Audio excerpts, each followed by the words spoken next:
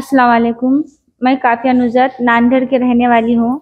ये मेरे फर्जन है। इनको ब्रेन ट्यूमर हुआ था। इससे पहले अमजदुल्ला साहब का ने मैं वीडियो की अपील डालने आई थी। एक सर्जरी हो गई।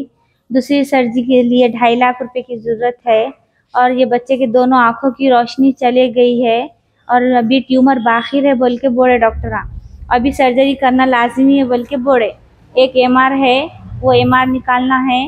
फिर सर्जरी की डेट देंगे बोल के बोले, ढाई लाख रुपये हॉस्पिटल में जमा करो बोल के बोले, नहीं तो बच्चे के जान को धोखा है बोल के बोले, टाटा मेमोरी हॉस्पिटल मुंबई में।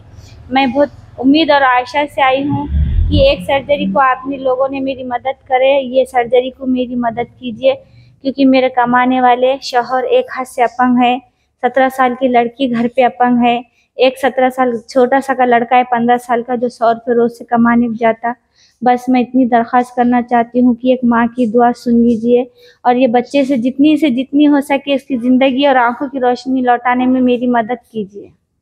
मेरा गूगल नंबर है nine three nine three nine three five six eight three double seven eight zero. मेरा गूगल नंबर ये है, मोबाइल नंबर भी ये है।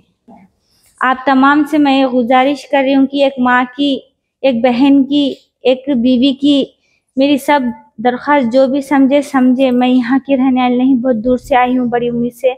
इस मासूम की ज़िंदगी और इसकी फ्यूचर बनाने में मदद कीजिए।